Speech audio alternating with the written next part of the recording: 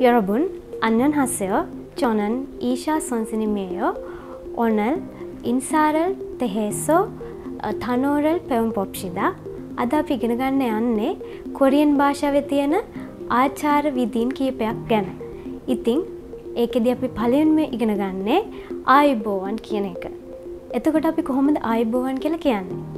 අන්‍යොන් හසයෝ කොහොමද අන්‍යොන් හසයෝ හැබැයි මේක වඩාත්ම ගෞරවාන්විත පුද්ගලයන්ට විතර අපි පාවිච්චි කරන්න.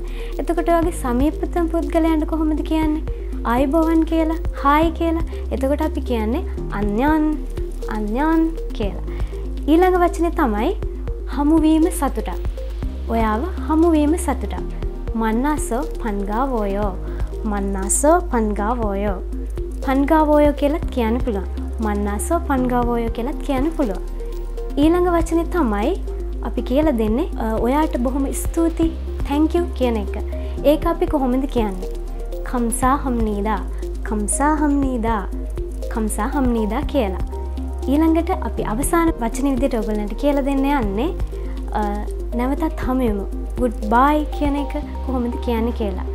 අන්‍යොන්හි කසයෝ අන්‍යනි කසයෝ අන්‍යනි කසයෝ අපි නැවතත් හමුවමු මේ වගේම තවත් වීඩියෝ එකකින්. තාමේ මන්නයෝ අපිත් එක්ක එකතුවෙන් ඕනෙන ඕගොල්ලන් ඉන්ටර්නශනල් ඉන්ස්ටියට් of එඩියුකේෂන් හා සම්බන්ධ වන්න. අන්‍යනි කසයෝ.